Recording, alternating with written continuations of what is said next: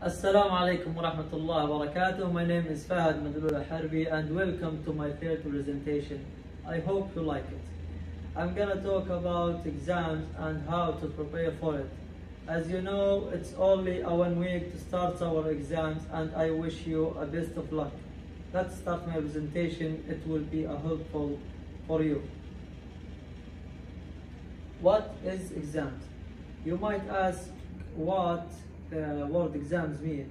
It is a formal, written, spoken, or practical test, uh, especially at school or college, to see how much you know about a subject or skills or what you can do.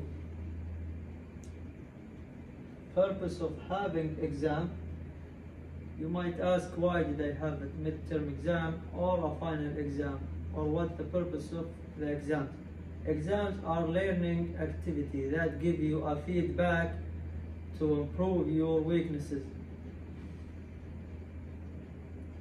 Why are some students afraid of having exams? The main reason are stress and expectation from from parents and teacher, and some students afraid of fail. Uh, but you have to remember that there is no success without fail. Some advice before the exam. Study for three to four days.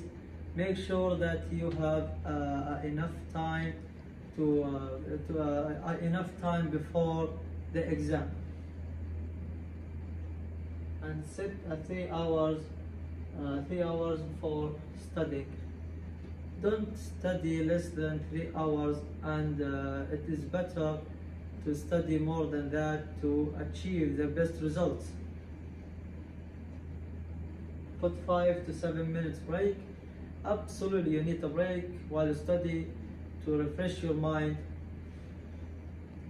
And uh, eat a healthy breakfast before you go to the exam.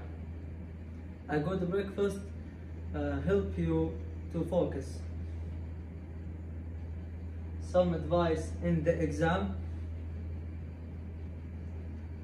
Follow the instructions.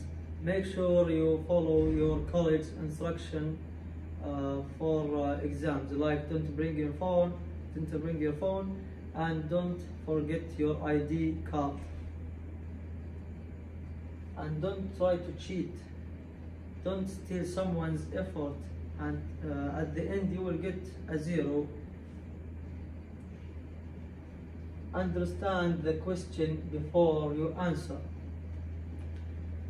Uh, it is important to read the question carefully before you answer it.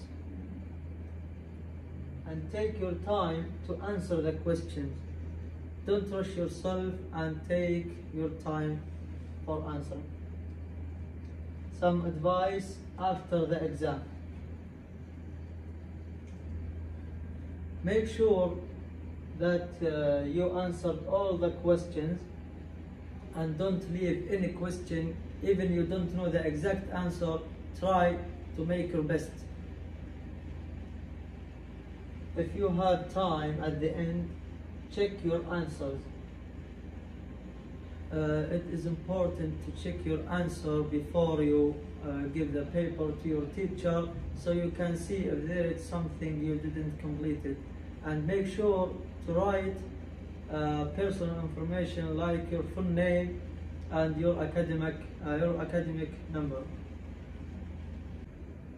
And in the conclusion this is my advice for you. Follow it and uh, you will get the best result inshallah and when you finish uh, and when you finish your exams you can take a rest to relax your body and your mind and give yourself something you love and uh, make sure and make you happy after all the efforts. And make sure that it's only a one week or two weeks that give you a better future inshallah. Thank you for listening and watching my presentation. I hope uh, you like it